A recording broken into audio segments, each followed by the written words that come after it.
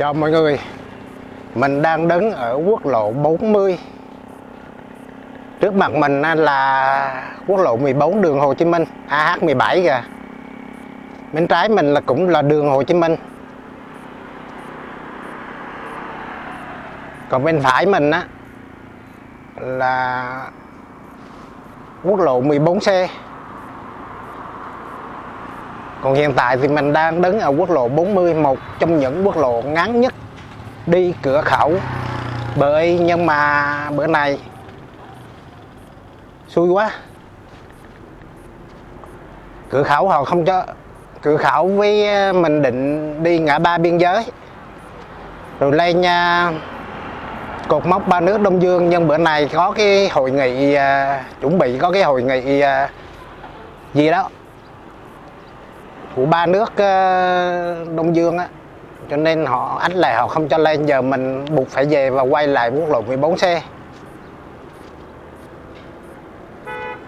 công an bộ đội gác đầy đường hết. Rồi, mời mọi người à, cùng đồng hành với mình nhé. Quốc lộ 14C giờ mình rẽ phải.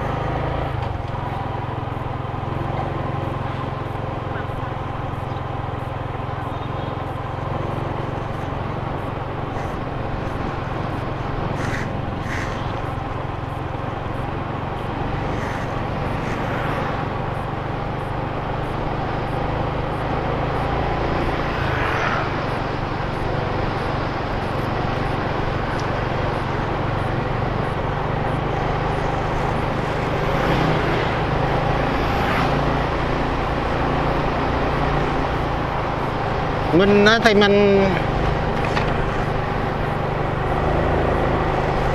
mình định làm một cái clip sẽ dọc biên giới Việt Nam Lào à, Việt Nam với Campuchia. Thì mình định đến cái ngã ba Đông Dương. Rồi mình tới uh, cột mốc ba nước Đông Dương rồi tới cửa khẩu bơi. Nhưng ngày hôm nay thì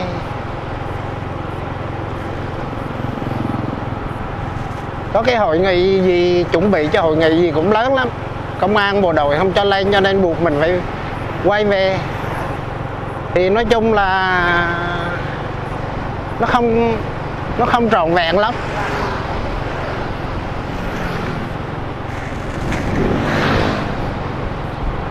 Khi mình quay mình làm clip này thì nó không trọn vẹn lắm. Vì mình định là sẽ ghi hình ở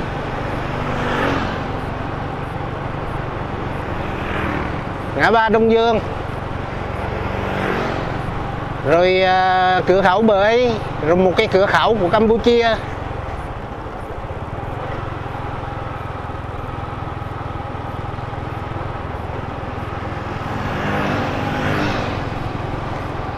Nhưng mà giờ họ không cho lên thì thôi. Mình à, giờ mình phải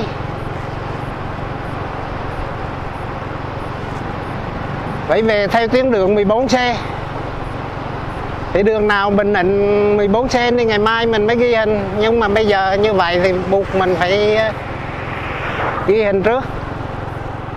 Nói chung nó không tròn vẹn lắm.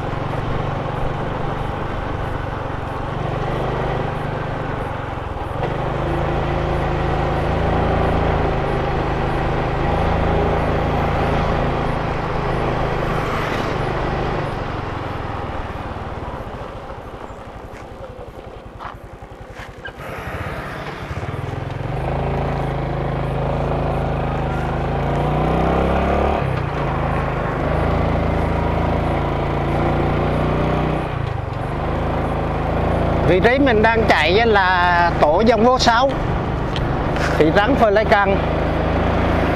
Trên quốc lộ à, 14 xe chạy dọc biên giới, Campuchia, Việt Nam.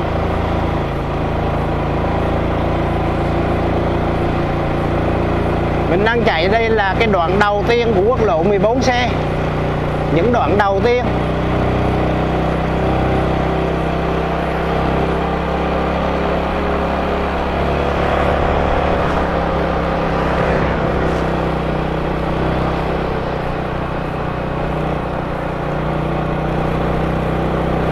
bên phải và bên trái mình là những rừng cao su. Nói chung đây là những đoạn đầu tiên thì nó nó không vắng vẻ lắm.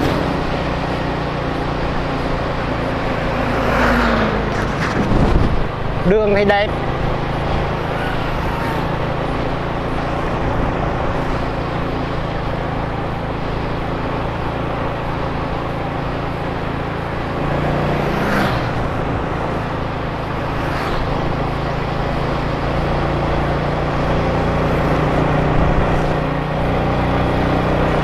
giờ là khoảng 12 rưỡi rồi.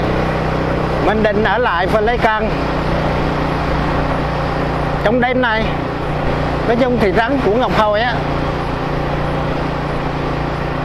Còn chiều hôm nay là mình đi dạo quét cửa khẩu y, cửa khẩu chỗ campuchia đó ngã ba biên giới. Rồi xem thử nó có, có nó đổi mới như thế nào. Vì mình xem trên những clip của những người đi sau á, nó khác lắm, nó khác so so với hồi xưa mình đi. Và giờ có hai con đường để lên nè. Và cái trạm gác hắn cũng dời, trạm gác của biên phòng nó cũng dời vào sâu trong cái à, cột mốc của ba nước Đông Dương á, ba nước Lào, Campuchia, Việt Nam á.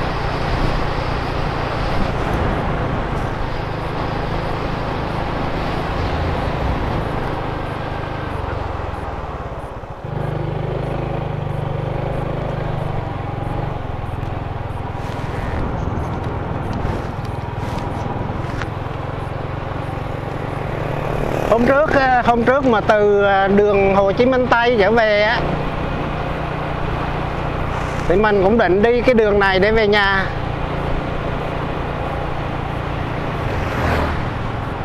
Nhưng mà mình thấy anh bạn của mình, anh bạn đi cùng cũng không thích đi đường này lắm. Nếu có đi thì ảnh cũng chiều theo lòng mình thôi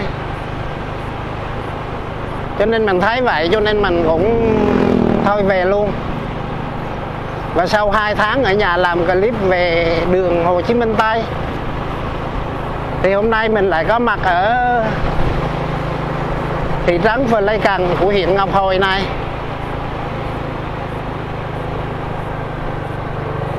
Và mình làm những clip tiếp theo.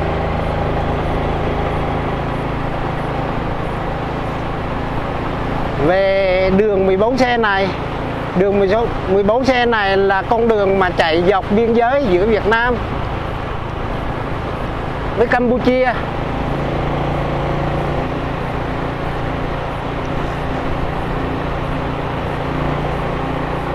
Mình cũng có tham khảo cái tuyến đường này trên mạng rồi.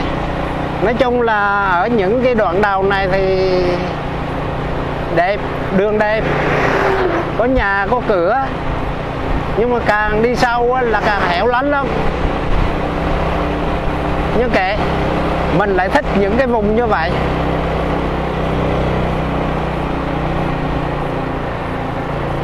Và sắp tới đây mình sẽ ra loạt clip về tuyến đường này.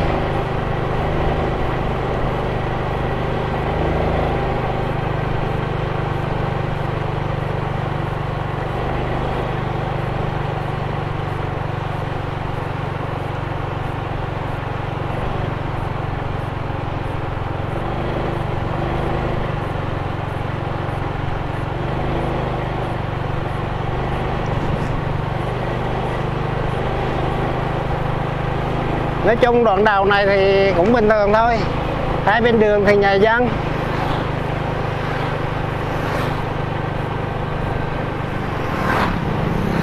Mình định đặt uh, series clip này là mình mới nghĩ ra giờ quay mất rồi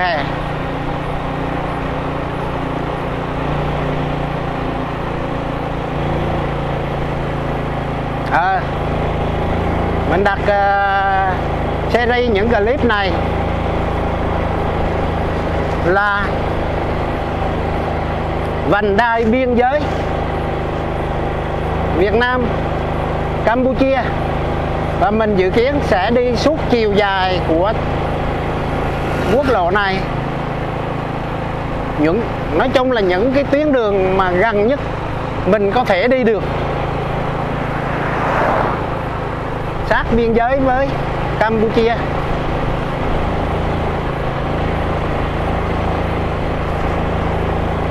Tất nhiên mình coi trên Google Maps thì nó còn nhiều tuyến đường nhỏ nhỏ sát biên giới nữa, nhưng mà hình như là họ, bộ đội biên phòng không cho vào những cái tuyến đường đó. Thì tuyến đường này là tuyến đường gần nhất và mình chọn tuyến đường này.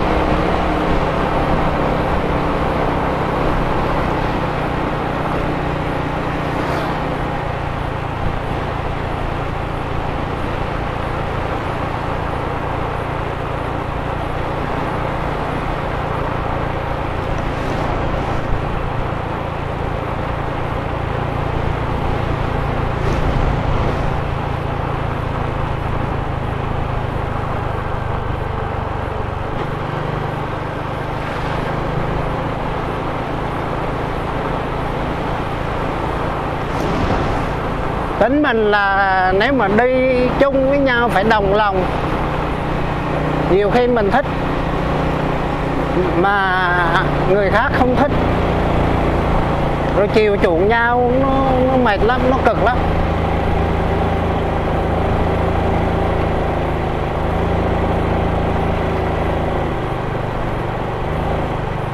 Mấy cái cột cây số um, mình thấy họ đang sơn lại mình coi những cái clip trước á, của mấy bạn đi trước á, thì nó lại là màu xanh.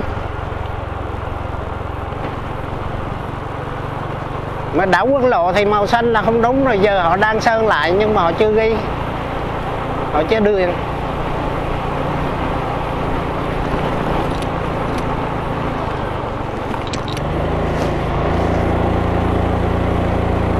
Chung ở đoạn đầu thì nó bình thường thôi, không có không có gì hết.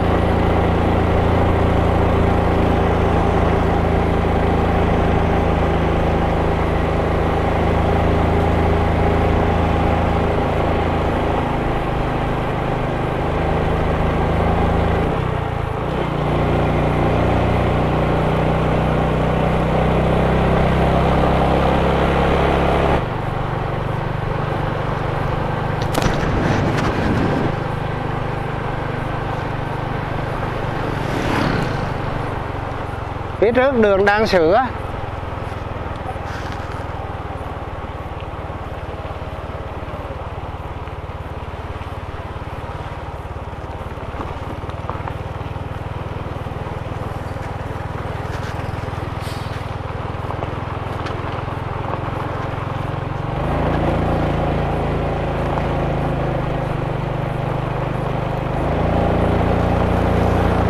Hôm nay thì cũng là những ngày cuối năm rồi.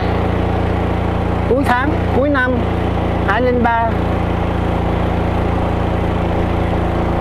mình rảnh được vài ngày mình định đi tiếp uh, Hồ Chí Minh Tây.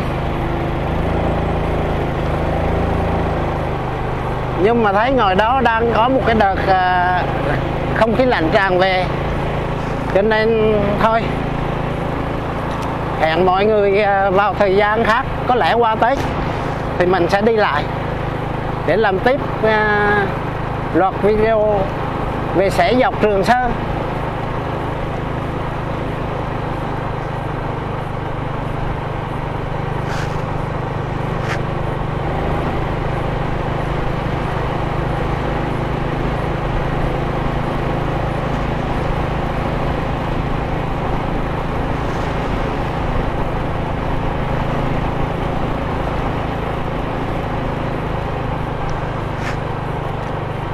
Rồi tới chỗ đoạn này là bắt đầu thấy rừng rồi đó. Đó trước mặt mình là rừng rồi đó. Đây gọi là rừng khộp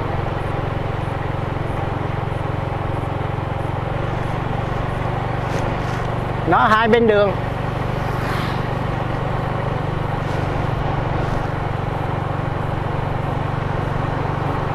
Bắt đầu từ chỗ uh, km đầu tiên á tới đây khoảng 5 cây số là bắt đầu vắng nhà dân và chủ yếu là rừng. Rừng này thì à, rừng cây lá rộng. Mà người ta gọi là rừng khộp á.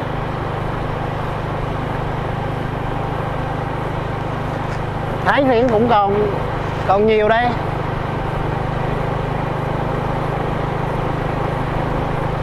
Mình thì có lang thang trên mạng. Tìm hiểu về cung đường này thì mình thấy đa phần á,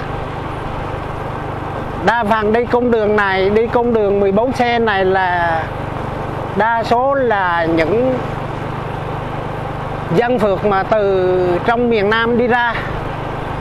Nhưng thường họ không đi ra hết tới công tâm đâu. Họ tới chỗ quốc lộ 19 C 19 á tức là chỗ cửa khẩu Lệ Thanh á là họ rẽ về lấy câu rồi. Còn theo cái chiều mình đang di chuyển này thì mình tìm rất hiếm video. Mà theo cái chiều, chiều mình di chuyển đây mà nhất là cái đoạn đường mình đang đi đây. Và tìm mãi tìm mãi thì lòi ra một clip của anh bạn mà thường anh bạn uh, youtube của mình. Cũng có một clip về đoạn này. Đó là Đình Hiệp. Nếu mà Đình Hiệp có coi video này thì uh, viết bình luận nhé. Mình coi à, video đoạn này của Đình Hiệp thì mấy lần luôn đó. Chứ còn ngồi ra kiếm những video khác mà đoạn này rất hiếm không thấy. Đa phần là từ rất nhiều là từ hướng Đắc Minh. Chạy tới chỗ uh, quốc lộ 14 à, um, quốc lộ 19 á. Rồi sau đó họ rẽ về Lê Cung rồi rừng một đoạn rồi giờ thấy nhà lại rồi nè.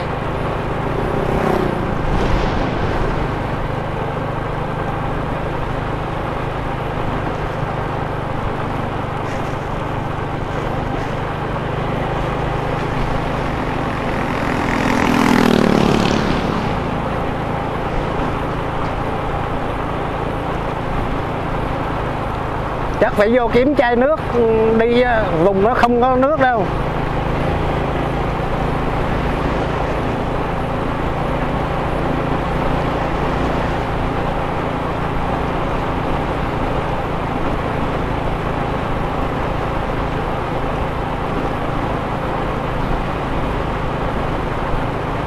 Không có quán xá gì đâu.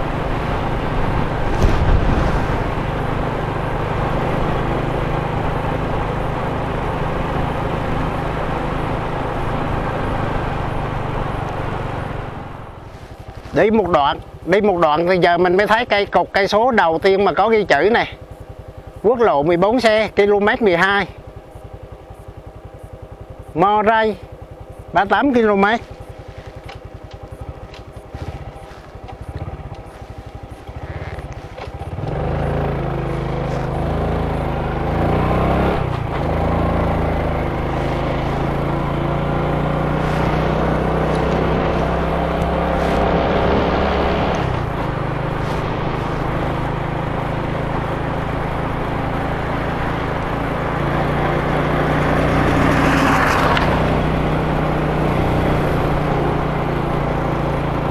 nếu sáng mai đi thì thông thả hơn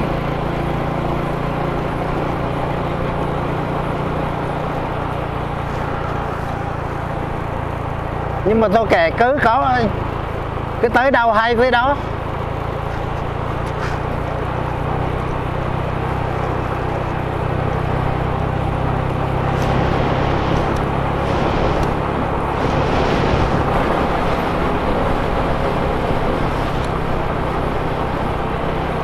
Mình thì có đi 14 xe này một lần rồi.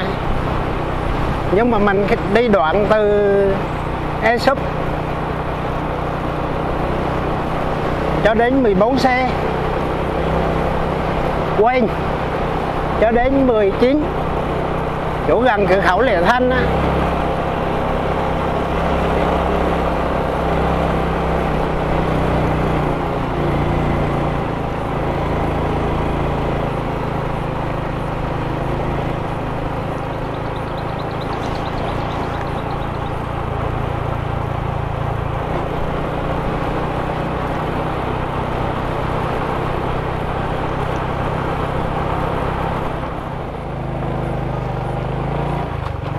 Này thì à, km 13 hai bên là cao su, mát mẻ, đường thì không quá đẹp.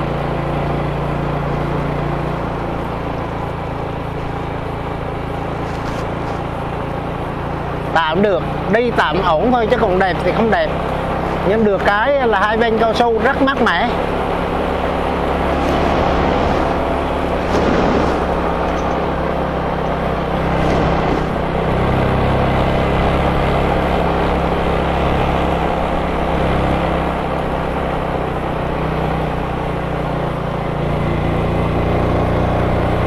Mình thì tìm kiếm nhiều thông tin ở của tuyến đường này trước năm 75 nhưng không có nhiều thông tin. Không biết đây có phải là, cũng là một trong những đường Trường Sơn hay không thì đường mòn Hồ Chí Minh hay không thì mình không biết, vì rất ít thông tin về tuyến đường này. Hay là họ mới mở sau năm 75 không biết.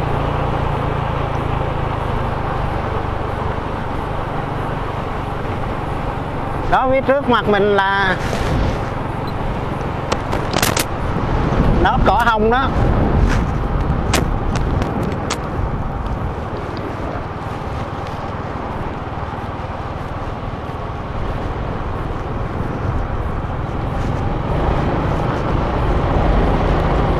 Đôi cỏ hồng. Đi đâu xa?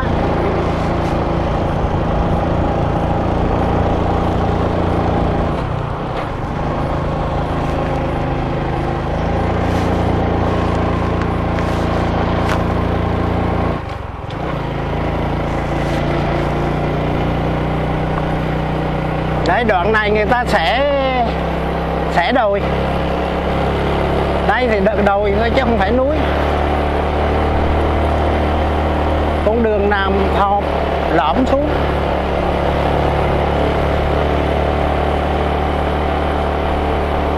Khu vực này bữa nay mùa nắng rồi, Mùa khô rồi.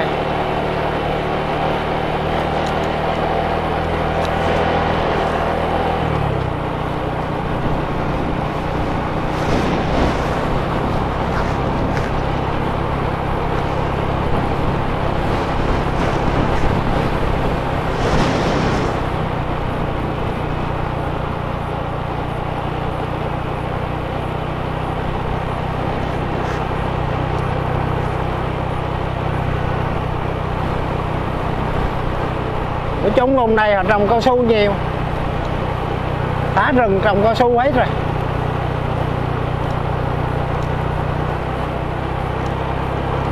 Con đường thì vắng.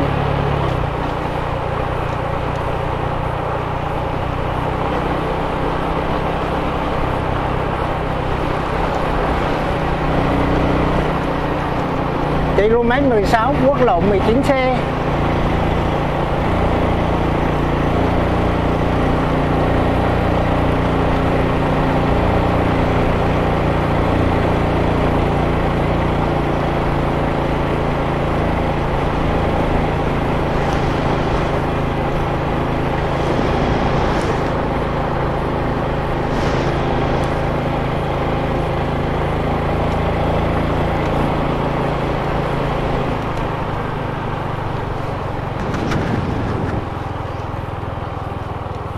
mát mẻ.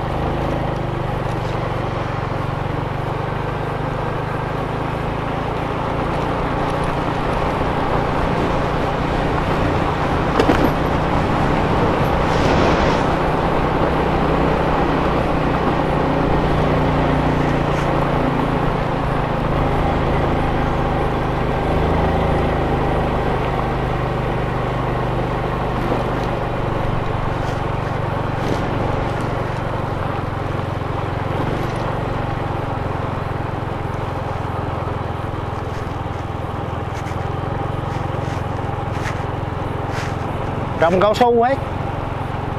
Đó. Bên bên trái mình là là cao su đó, toàn cao su không?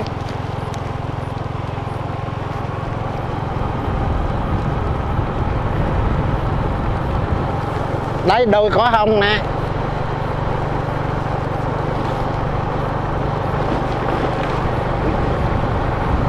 Ở Đà Lạt cỏ hồng thì người ta đi uh, chụp hình đồ quá trời mà đây. Mọc đầy không thấy không thấy ai chụp hình. Dòng quá dòng quá chắc camera rung.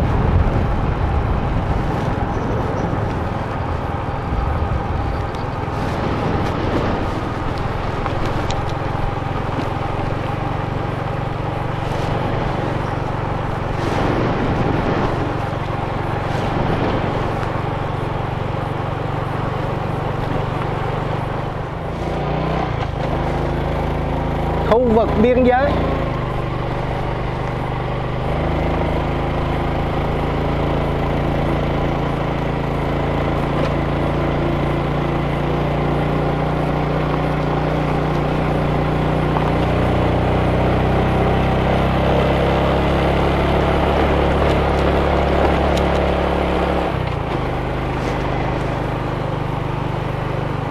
Xe sang 88 km giờ mình đi tới xe xa mình nghỉ được.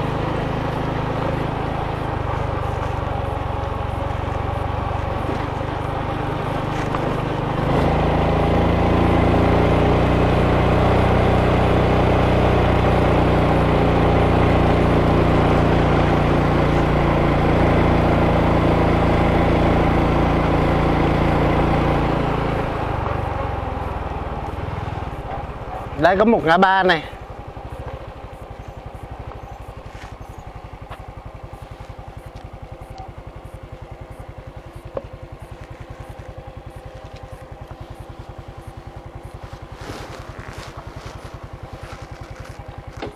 À, một ngã ba. Một ngã ba mà là bên trái là đường 675 đó. Còn mình rẽ phải để tiếp tục đi. 14 xe.